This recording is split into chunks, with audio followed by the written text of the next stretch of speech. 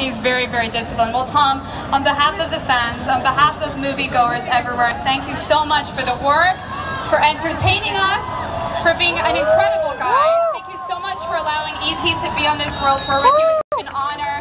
You guys go see Mission Impossible Rogue Nation. It is mission accomplished. Mr. Tom Cruise.